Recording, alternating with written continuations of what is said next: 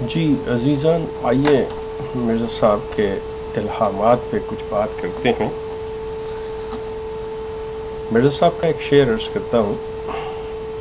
मर गया बदबख्त अपने वार से। मर गया बदबख्त अपने वार से। कट गया सर अपनी तलवार से। ये मिर्ज़ा साहब का शेर है। मिर्ज़ा साहब फरमाते हैं हकीकतुल वही के सफ़ा नंबर दो सौ अठारह पे जो कि रूहानी खजाइन की जिल्द बाईस है, झूठ बोलना एक शैतान और लानती का काम है। इसके बाद अगर आप मलफूजात की जिल्द चार और सफ़ा तीन सौ चौवन देखें तो उस पर मिर्ज़ा साहब फरमाते हैं, मुफ्तरी, यानी झूठा जो है, मुफ्तरी आखिर थक जाता है। आइए पहले झूठ बोलना।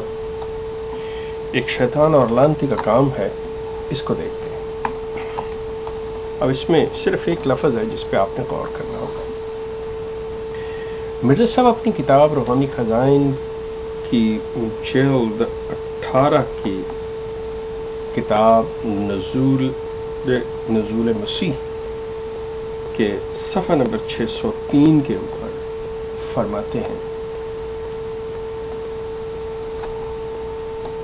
हज़रत मिर्ज़ा ग़ुलाम सब कादियानी कुछ इस तरह से फरमाते हैं, हमारे भाई मिर्ज़ा ग़ुलाम कादर साहब मरहूम की वफात से एक दिन पहले, ये याद रखिएगा, ये अल्फाज, फरमाते हैं, मरहूम की वफात से एक दिन पहले इल्हाम हुआ जनाजा। ये उनका इल्हाम है, सिर्फ़ जनाजा। और मैंने इस इल्हाम की बहुत लोगों को खबर दे दी, चुनाचे दूसरे रोज़ भाई साहब फौत हो गए इस वाक़े के। बहुत लोग गवाह हैं। अब वो कहते हैं कि हमें, मुझे एक दिन पहले ये इल्हाम हुआ जनाजा और मैंने बहुत से लोगों को इस के बारे में खबर दे दी और दूसरे रोज़ जो थे इनके भाई वो फौत हो गए अब आइए हकीकत वही जो रूहानी खजाइन की जल्द बाईस है, इसके सफ़ा नंबर चार सौ पर मिर्ज़ा साहब कुछ यूँ फरमाते हैं। ये जहन में रखिए, झूठ बोलना शैतान और लानती का काम है। मिर्ज़ा साहब, अपने निशान 187 एक सौ सतासी के जेर तहत लिखते हैं, मेरे बड़े भाई, जिनका नाम मिर्ज़ा गुलाम कादर था, कुछ मुद्दत तक बीमार रहे, जिस बीमारी से आखिर उनका इंतकाल हुआ जिस दिन उनकी वफ़ात मुकद्दर थी, जिस दिन वफ़ात उनकी मुकद्दर थी, सुबह मुझे इल्हाम हुआ। मतलब जिस दिन उनकी वफ़ात थी, उस दिन सुबह उनको इससे पेशतर जो मैंने पहले पढ़ा है, जो नजूल मसीह में है, उसमें है कि वफ़ात से एक दिन पहले। अब इसमें है कि उस दिन कि जिस वफ़ात मुकद्दर थी, सुबह मुझे इल्हाम हुआ, जनाजा। अब वही इल्हाम उनको हुआ, जनाजा। और अगरचे कुछ आसार उनकी वफात के ना थे। मगर मुझे समझाया गया कि आज वो फौत हो जाएँगे और मैंने अपने ख़ास हम नशीनों को इस पेशगोई की खबर दे दी, जिस तरह वो पहले कह रहे हैं कि एक दिन पहले हुआ और उन्होंने उनको भी दे दी, इसी तरह यहाँ पे भी कह रहे हैं। और जो अब तक ज़िंदा हैं, फिर शाम के करीब मेरे भाई का इंतकाल हो गया।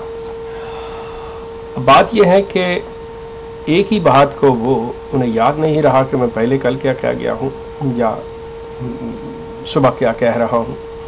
और उसी तरह जैसे एक दिन पहले लोगों को खबर दे रहे हैं, इसी तरह वही दे रहे हैं। अब मैं आपसे एक अर्ज़ करता चला जाऊँ, यहाँ पे जमात वाले बिल्कुल कहेंगे, जी, ये दो बारिश इलाहा हुआ। ये जेन में रखिएगा कि जमात वाले इसकी तावील यही करेंगे, लेकिन मिर्ज़ा साहब ने इसकी कोई कहीं पे भी तावील नहीं की। हालाँकि वो ये कहेंगे कि जमात का जी, आप लिटरेचर उठा के देख लें, मिर्ज़ा साहब की किताबें उठा के देख लें, वहाँ पे आपको मिलेगा कि मिर्ज़ा साहब को रिपीटेडली मतलब एक इल्हाम जो है वो कई बार कई कई बार हुआ हुआ है। ये वो बताएँगे कि रिपीटेड हैं ये चीज़ें। लेकिन यहाँ पर ख़ास तौर पे वो एक दिन पहले फरमा रहे हैं और उसके बाद वो दूसरे रोज़ जिस दिन उनकी वफात है, उस दिन सुबह की बात कर रहे हैं। ये तो हुआ कि झूठ बोलना एक लानती और शैतान का अब आइए, दूसरी चीज़ के जो मैंने अर्ज़ की थी कि मुफ्तरी थक जाता है। मिर्ज़ा साहब लिखते हैं, अपनी किताब हकीकतुल वही, उसी जल्द के बाईस के सफ़ा नंबर चार सौ पे। मेरा इरादा था कि इन निशानों को तीन सौ तक इस किताब में लिखूं और वो तमाम निशान जो मेरी किताब नजूल मसीह और तरियाकुलूब वगैरह किताबों में लिखे गए हैं, और दूसरे नए निशान इस कदर इसमें लिख दूँ कि तीन सौ का अदद पूरा हो जाए।